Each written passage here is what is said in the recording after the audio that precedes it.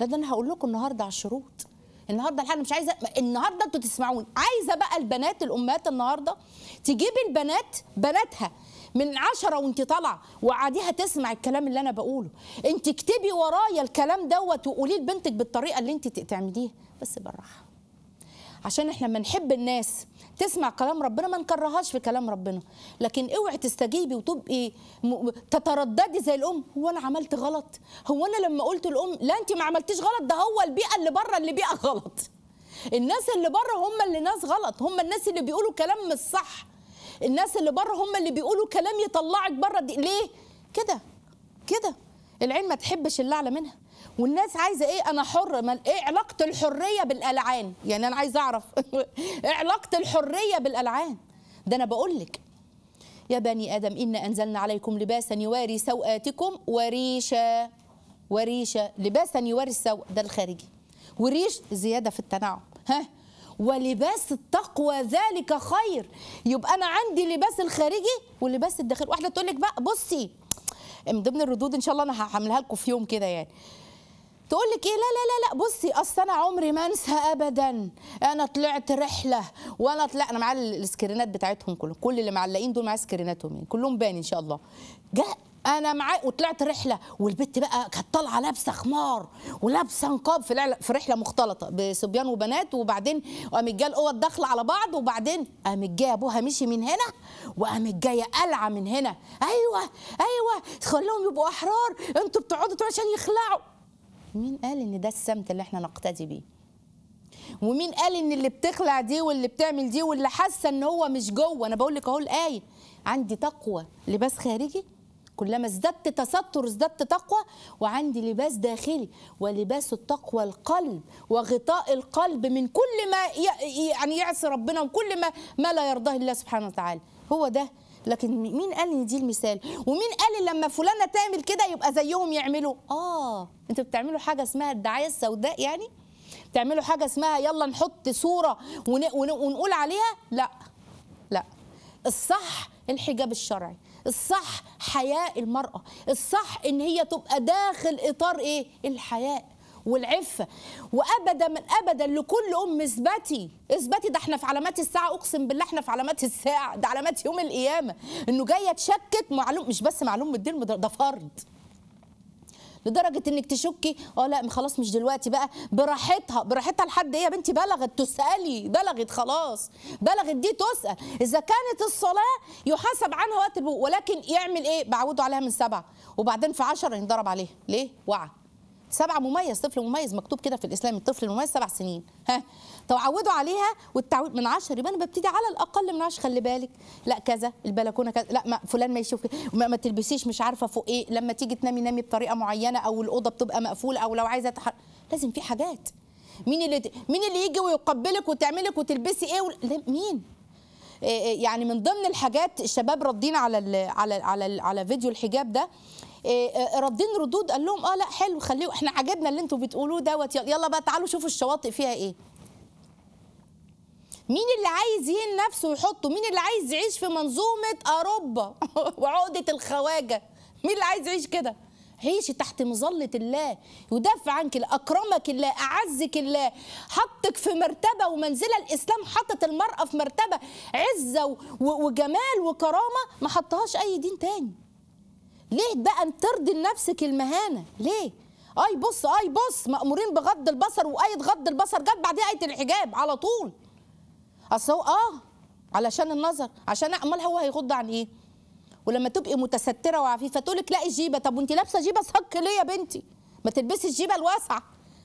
بتتريقي على على العباية والبتاع وعلى فق وأنا قلت لكم ما تبصوش إحنا عواجيز. بصوا للبنات الأمامير التحفة اللي بيلبسوا العبايات ومنزلين ما شاء الله حاجات وجروبات جميلة جدا جدا بالحجاب الجميل اللي مداري ها مش باينة ومتقسمة. آه أنا عارف ده إيه وده إيه وأنا عارف عارف. انت عايزة كده؟ لا. إحنا في إطار الله عز وجل غطانا فيه فنتحط في الغطاء ده. المرأة في الحقيقة عبارة عن إيه؟ حياء. وإذا فقدت المرأة حيائها فقدت كل شيء. إذا فقدت المرأة حيائها احفظوا كده فقدت كل شيء. فضائل الحياء كتير. أول حاجة أنا مش هكلمك عن حجاب الأول هكلمك عن الحياء اللي هو مفتاح كل خير اللي هو اللي هو أصل الحجاب. حديث النبي عن عمران بن حسين رضي الله عنه قال قال رسول الله صلى الله عليه وسلم الحياء خير كله. أو قال الحياء كله خير. يعني أصل الخير الحياء وذهابه يبقى مع الخير كله يجمع خلاص. الحياء إيمان. حديث ابن عمر رضي الله عنه قال النبي صلى الله عليه وسلم الحياء والإيمان قرنا جميعا مع بعض كده. فإذا رفع أحدهما رفع الآخر. حديث أبي هريرة عن النبي صلى الله عليه وسلم قال الإيمان بضع وستون شعبة والحياء شعبة من الإيمان. خاص الشعبة منهم قال؟ الحياء. ليه؟ عشان هو زيه. لو منع خلاص منع الإيمان.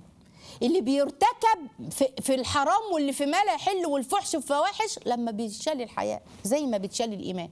حديث عبد الله بن عمر رضي الله عنه أن رسول الله صلى الله عليه وسلم مر على رجل من الأنصار وهو يعز اتنين كده شباب واقفين واحد التاني بيعزوا في الحياء يا عم ما تتكسفش يا عم انت كذا. الرسول صلى الله عليه وسلم نهاه قال له دعه فإن الحياء من الإيمان.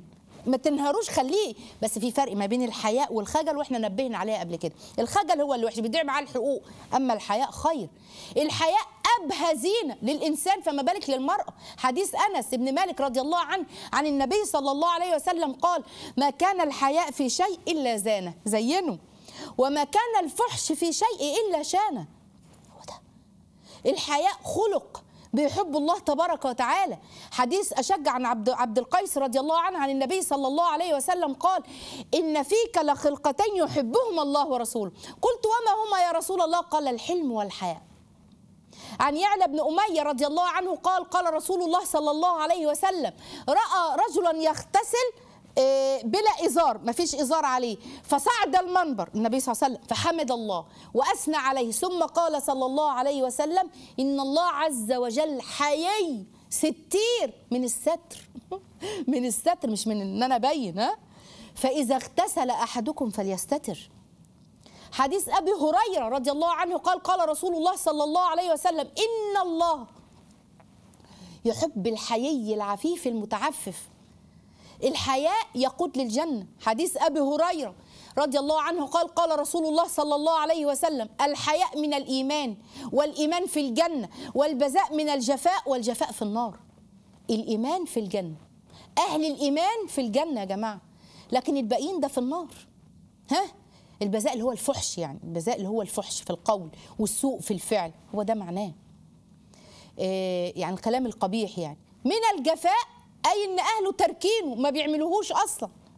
قساوة قلب بقى بيورث فحش في الكلام أي حاجة. الحياء خلق الإسلام. الحياء هو أفضل الأخلاق وأجلها وأعظمها قدرا وأكثرها نفعا عند الله. ها؟ حديث أنس رضي الله عنه قال رسول الله صلى الله عليه وسلم إن لكل دين خلق وخلق الإسلام الحياء. كل دين له طبع وسجية. وطبع الدين بتاعنا ده وسجيته الحياء. الحياء شريعة جميع الأنبياء عليهم السلام. حديث النبي صلى الله عليه وسلم عن ابن مسعود قال قال رسول الله صلى الله عليه وسلم إن مما أدرك الناس من كلام النبوة الأولى إذا لم تستحي فافعل ما شئت. جميل. عندي نماذج للحياة جميلة جدا. السيدة أم سلمة رضي الله عنها. حديث ابن عمر لما قال قال رسول الله صلى الله عليه وسلم من جر ثوبه خيلاء خيلاء لم ينظر الله إليه يوم القيامة. فقالت أم سلمة فكيف يصنعن النساء بذيولهن يا رسول الله؟ هنقصر إحنا كمان. قالت يرخين شبرا قالت اذا بصوا بصوا تتكشف تنكشف اقدامهن رجلها هبان. قال فيرخينها ذراعا ويطهره بقى خلاص ما بعد. يعني يزيدوا عليه كده.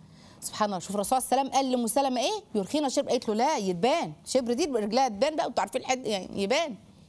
فقال إن النساء لا تطيق هذا هيبان هتتكشف رجليهم. قال خلاص يبقى يرخينا إيه؟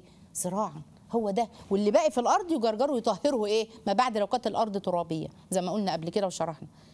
طيب يبقى إيه بقى؟ ها؟ طب عندي مظاهر قله الحياء آه. كاسيات عرياء خروج النساء كاس... لابسة بس ما هيش لابسة. عن عبد الله بن عمرو رضي الله عنه قال قال سمعت رسول الله صلى الله عليه وسلم يقول اسمعوا سيكون في آخر أمتي ها رجال كذا كذا كذا ونساء اللي هم الرجال اللي بيضربوا بالصوت ونساء كاسيات عاريات آه العنوهن فإنهن ملعونات. ده حديث. حديث ثاني عن أبي هريرة رضي الله عنه قال قال رسول الله صلى الله عليه وسلم وصنفان من أهل النار لم ارهما قوم معهم صياد كأذناب البقر يضربون بها الناس ونساء كاسيات عاريات مميلات مائلات رؤوسهن كأسنمة البخت المائلة. لا يدخلن الجنة ولا يجدن ريحها وإن ريحها لا يوجد من مسيره كذا وكذا. هو ده. لما يبقى عندي حياء يقودني بقى للحجاب. فرضية الحجاب. سورة سورة النور سورة أنزلناها وفرضناها احفظوا الكلام ده وأنزلنا فيها آيات بينات لعلكم تذكرون. يبقى كل اللي جاي في السورة فرض فرضناها كل جاي فيه كل المؤمنات يغضضن من أبصارهن ويحفظن فروجهن ولا يبدين زينتهن إلا ما ظهر منه وليضربن بخمورهن على جيوبهن. إحنا نشرح تاني ما بزهقش. وهفضل اللي يقول هفضل أطلع كل مرة اضحك كلامه ولا يبدين زينتهن إلا لبعولتهن أو آبائهن أو آباء بعولتهن أو أبنائهن أو أبناء بعولتهن أو إخوانهن أو بني اخوانهن إخوانهن أو بني أخواتهن أو نسائهن أو ما ملكت أيمانهن أو التابعين غير أولي الإربة من الرجال أو الطفل الذين لم يظهروا على عورات النساء. ولا يضربن بأرجلهن ليه؟ ليعلم ما يخفين من زينتهن وتوبوا إلى الله جميعا أيها المؤمنون لعلكم تفلحون معنى الكلام ده إيه؟ ده فرض ما كان لمؤمن ولا مؤمنة إذا قضى الله ورسوله أمر أن يكون لهم الخيرة من أمرهم. حديث رسول الله صلى الله عليه وسلم صنفان من أهل النار اللي إحنا لسه قايلين. يبقى إيه بقى؟ يبقى إيه؟ لازم أبقى فاهمة الكلام ده. والنساء بقى الكاسيات العاريات زي ما شرحنا الحديث قبل كده.